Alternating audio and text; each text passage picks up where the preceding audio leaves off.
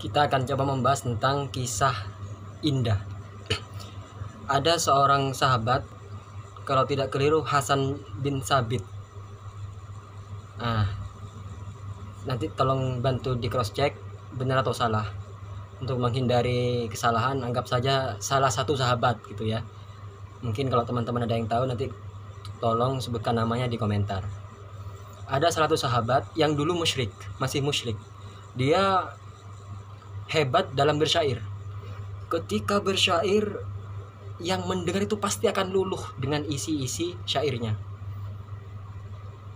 Ketika Nabi Muhammad mulai berdakwah dengan Islam, akhirnya kaum Quraisy menyewa sahabat ini yang masih musyrik. Wahai sahabat, anggaplah sebut Hasan bin Thabit ya, nanti koreksi kalau salah. Hasan, engkau terkenal sebagai penyair yang hebat. Setiap kata-katamu menghipnotis para pendengar sehingga larut dalam sajak saat sajak-sajak syairmu. Sekarang engkau aku bayar, engkau buatlah syair yang isinya tentang Muhammad. Dalam syair tersebut cari semua kejelekan-kejelekan Muhammad lalu engkau syairkan di panggung sehingga orang yang mendengar akan mengetahui bahwa Muhammad memang betul-betul buruk sesuai dengan isi syairmu. Akhirnya Hasan bin Sabit ini menerima, oke nggak masalah. Mana duitnya? Ini sejuta, kurang sejuta bang. Minta berapa? Dua ribu miliar. Mahal. Wes lambuh piro harga nih. Oke, kita CC, kita kerjasama. Oke, akhirnya Hasan bin Sabit ingin membuat syair. Karena ini syair tentang objek harus observasi. Dia teliti Nabi Muhammad Shallallahu Alaihi Wasallam dia teliti gerak geriknya dia amati ucapannya dia teliti gerak geriknya selama seharian. Hari pertama dia teliti nggak ada celah. Hari kedua dia teliti ucapan ucapannya nggak ada celah. Hari ketiga gerak geriknya dari mulai bangun hingga tidur keluar masuk rumah bertemu dengan sahabat segala macam diteliti hari keempat dia bertemu lagi dengan yang membayar Kang apa wes nemu wes tadi syair Bukan, aku nggak jadi dibayar. Wis. Loh kenapa? Aku telah mencari, mengobservasi selama tiga hari sesuai dengan tugas yang kau berikan untuk membuat syair tentang kejelekan Muhammad. Tiga hari aku cari tidak tidak aku temukan kejelekan Nabi Muhammad. Dari gerak geriknya nggak ada yang layak dicela. Dari ucapannya nggak ada yang bisa saya celah. Wis, aku nggak bisa menerima tugas ini karena saya membuat syair harus sesuai kenyataan. Dan tidak ada realita kejelekan satupun dalam diri Muhammad. Ini masih musyrik.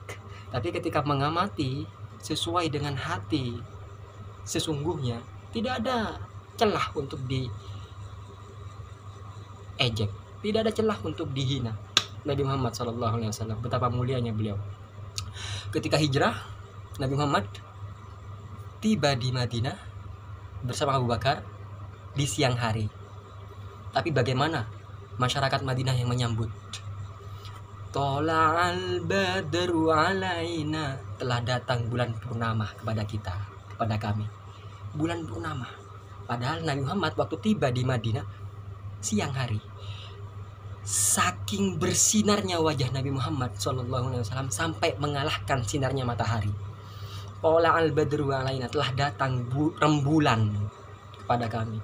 Saking bersinarnya wajah Nabi Muhammad hingga mengalahkan sinarnya matahari. Para warga di Madinah menyambut dengan syair menggunakan rebana. Pola al badru alaina saking cintanya kepada Nabi Muhammad sallallahu alaihi wasallam. Lalu kita akan bahas bagaimana hukum musik itu, ya kan? Tadi itu prolog tadi itu. Jadi pembahasannya adalah bagaimana hukum musik saya tidak tahu hadis. Saya cuma bisa berkisah bisa menyampaikan tentang kisah. Soal hadis saya nggak jago. Namun seingat saya setahu saya sependek pengetahuan saya musik itu ada yang mengharamkan. Karena dulu ada dua budak nabi sedang bernyanyi-nyanyi. Lalu Abu Bakar memarahi oh, kenapa engkau melakukan apa itu? Melakukan hal yang dicintai setan di rumah Nabi. nah, Abu Bakar marah. Itu mungkin yang dijadikan dalil. Ada lagi hadis yang haram setiap sesuatu alat musik yang dipetik yang digendang dan segala macamnya. Itu yang mengharamkan. Sehingga ada orang-orang kelompok-kelompok yang betul-betul anti terhadap musik apa pun alirannya dia nggak mau dengar musik. Saya pun punya sahabat dia anti musik. Ketika saya coba nongkrong ayo bang kita nongkrong bang. Di warung kopi kita ngopi. Ayo nggak masalah. Aku yang di depan untuk mengarahkan tujuannya. Setelah aku berhenti di warung kopi tertentu dia lu di sini tak iya. Nggak mau ya, kenapa? Ada musik. Oke nggak masalah. Kita cari warkop yang nggak ada musik. Ada ulama lain yang tidak mengharamkan musik beliau beranggapan musik ibarat seperti berbicara. Jadi lihat dulu musiknya seperti apa. Kalau musiknya kontennya itu negatif, sama seperti kita berbicara negatif, maka itu nggak boleh dosa.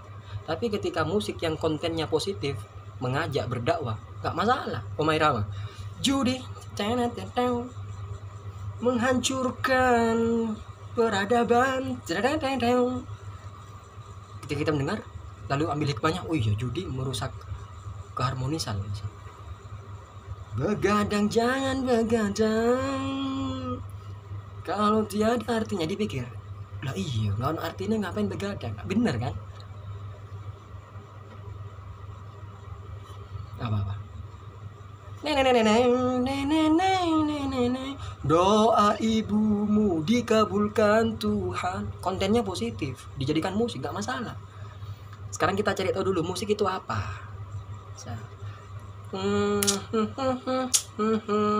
Apakah ini disebut musik? Jika iya maka nggak masalah. Adan juga musik. Bernada. Kalau bernada itu disebut musik maka adan itu musik. Dan ketika musik diharamkan harusnya adan nggak perlu bernada agak itu. Dan saya pribadi memilih musik adalah sesuai kontennya. Ketika musik itu liriknya mengandung yang buruk-buruk porno-porno mesum-mesum maka itu nggak boleh. Jangankan disangkut pautkan dengan agama disangkut pautkan dengan moral saja dia nggak layak terbit di dapur rekaman. Saya pribadi. Tapi ada lagi opsi yang ketiga. Sekalipun musik itu liriknya bagus positif tapi melalaikan kita untuk beribadah juga nggak bagus. Ini sebenarnya netral tapi lebih ke ranah segi pendekatan diri kepada Allahnya. Apa pun musiknya kalau menjauhkan diri kita kepada Allah ya nggak bagus juga. Ya bukan musik aja sebenarnya. Kumpul sama anak kumpul sama istri ketika melalaikan kepada Allah ya sama nggak boleh. Oke ya? Jadi saya suka musik. HP saya rumah saya di sini tidak berhenti-hentinya dengan musik sholawat. Ya Nabi salam alaika. Bernada musik.